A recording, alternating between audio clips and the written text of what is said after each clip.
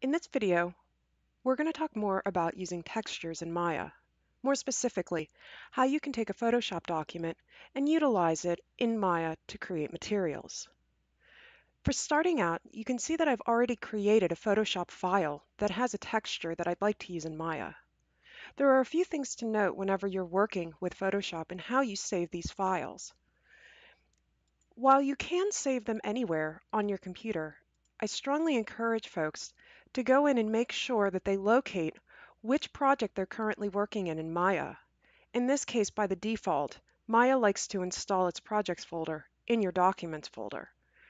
And then I'm working in the default project, but I encourage folks to use source images as a place of storage for your different elements here. So you can see I've saved a demo Photoshop Maya file. I'll go ahead and say save, and yes. I'm going to go ahead and maximize the compatibility. But then what I'm also going to do is I'm going to do File, Export, and choose to export as. And I'm going to make sure that this is a PNG. And what this is going to allow me to do is I'm going to be able to go ahead and make a PNG version for one of the texture types that I want to work with. So once again here, I'll navigate into Maya under Projects and Defaults and find that Source Images. I'm going to leave the file name the same and choose Save. Now I'm going to jump into Maya here and we'll go ahead and just make a quick poly. And then I'm going to go ahead and navigate to the Hypershade window. For this demonstration, I'm going to go ahead and just use a Lambert material. Now, when you first start out with materials, you can just use the colors over under the common material properties. However, if I want to tie an image into my material, I'm going to come to the side here where you see the little checker box. And I'm going to click, and then I have a couple of options that appear. Probably the two biggest that you might want to start out with as far as exploring and working with Maya is File and PSD File. File is a 2D texture file, which also includes Photoshop documents and GIMP files, whereby it'll apply it as a material to your object, but you can't really make any edits. So if we start out with this for our first element, what you should see is in the node window, it has now added in additional nodes as far as handling for a file that ties in specifically into the Lambert color. So now if I try to go back into my Lambert Notice under the common material properties, my color option is grayed out. I can no longer work with the color. So I'm going to go ahead in my attributes here, click on File 1. And the big thing that you want to find for starting out and just getting an image into your Maya project is under Image Name, and all the way at the end, you will have a little folder that you can click on to navigate. By default, again, Maya is going to want to come in and go to that Source Images folder of the project which is why I encourage folks to store their elements in here. So here you can see my demo Photoshop Maya file.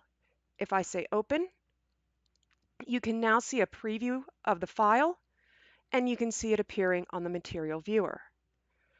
I'm now ready to go ahead and go in. I can select my object, right click and assign existing material.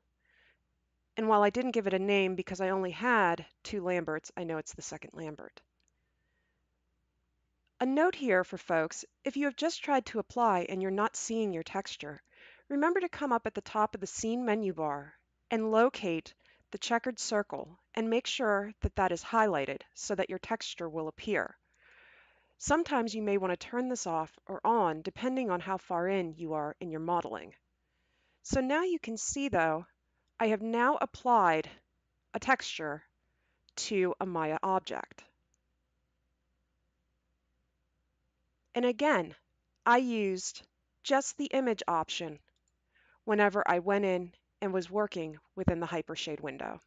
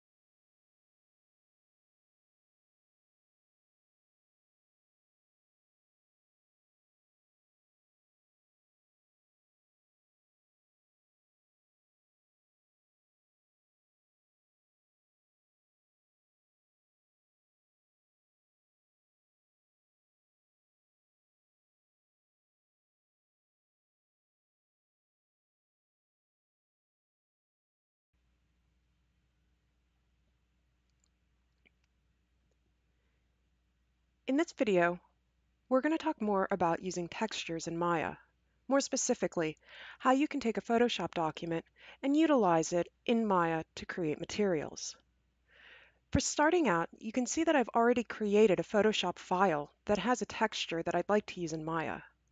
There are a few things to note whenever you're working with Photoshop and how you save these files. While you can save them anywhere on your computer, I strongly encourage folks to go in and make sure that they locate which project they're currently working in in Maya.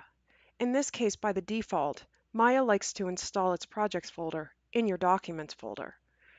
And then I'm working in the default project, but I encourage folks to use source images as a place of storage for your different elements here.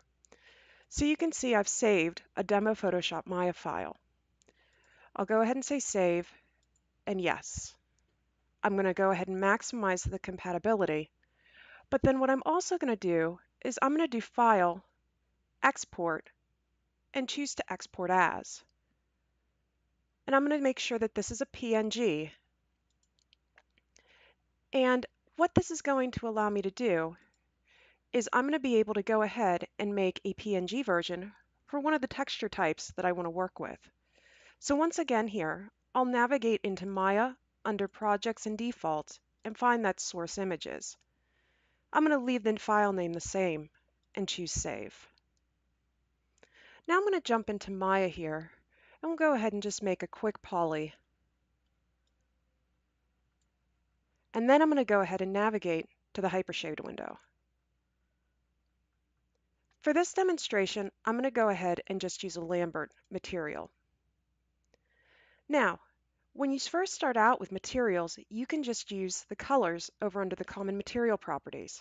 However, if I want to tie an image into my material, I'm going to come to the side here where you see the little checker box.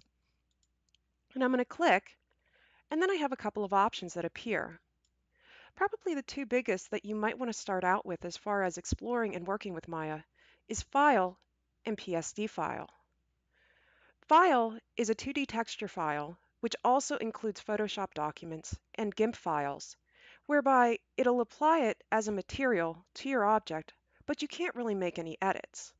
So if we start out with this for our first element, what you should see is in the node window, it has now added in additional nodes as far as handling for a file that ties in specifically into the Lambert color. So now if I try to go back into my Lambert Notice under the common material properties, my color option is grayed out. I can no longer work with the color. So I'm going to go ahead in my attributes here, click on File 1.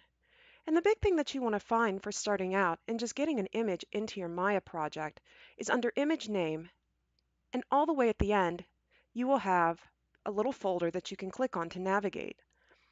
By default, again, Maya is going to want to come in and go to that source images folder of the project, which is why I encourage folks to store their elements in here. So here you can see my demo Photoshop Maya file. If I say open, you can now see a preview of the file and you can see it appearing on the material viewer. I'm now ready to go ahead and go in. I can select my object right-click and assign existing material. And while I didn't give it a name because I only had two Lamberts, I know it's the second Lambert. A note here for folks, if you have just tried to apply and you're not seeing your texture, remember to come up at the top of the Scene menu bar and locate the checkered circle and make sure that that is highlighted so that your texture will appear. Sometimes you may want to turn this off or on depending on how far in you are in your modeling. So now you can see though, I have now applied a texture to a Maya object. And again, I used just the image option whenever I went in and was working within the Hypershade window.